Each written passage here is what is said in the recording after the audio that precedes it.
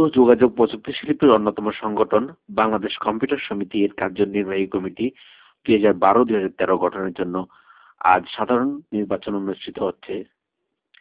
কেন্দ্রীয় কমিটির জন্য পনেরো জন এবং সাতটি আঞ্চলিক কমিটির জন্য সাতজন করে প্রার্থী প্রতিদ্বন্দ্বিতা করছে। প্রাথমিকভাবে প্রত্যেক কমিটির জন্য সাতজন প্রার্থী সর্বোচ্চ ভোটের ভিত্তিতে নির্বাচিত হবেন। এরপর পদ বন্টন নির্বাচনের মাধ্যমে চূড়ান্ত কমিটি গঠন করা হবে। নির্বাচনী বোর্ডের চেয়ারম্যানের দায়িত্ব পালন করেছেন সদস্য রঞ্জন সাহা এবং এই বোর্ডের সদস্যরা হলেন খন্দকার আতিক রব্বানি ও A H M Mahfuzul Arif. Appeal বোর্ডের চেয়ারম্যানের দায়িত্ব পালন করেছেন আখতারুজ্জামান মঞ্জু এবং এই বোর্ডের সদস্যরা হলেন এস কবির আহমেদ ও কামরুল ইসলাম।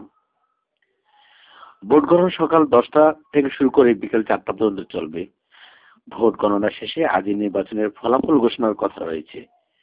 নির্বাচিত প্রার্থীদের মধ্যে পদ বন্টনের নির্বাচন সতেরো ডিসেম্বর। নির্বাচনের ফলাফল বিষয়ে কোনো আপত্তি থাকলে লিখিতভাবে তা দাখিলের শেষ তারিখ আঠারো ডিসেম্বর। নির্বাচনের ফলাফল বিষয়ে কোনো আপত্তি থাকলে তার উপর শুনানি এবং তার নিষ্পত্তি বিশ ডিসেম্বর সময় নির্ধারণ করা হয়েছে।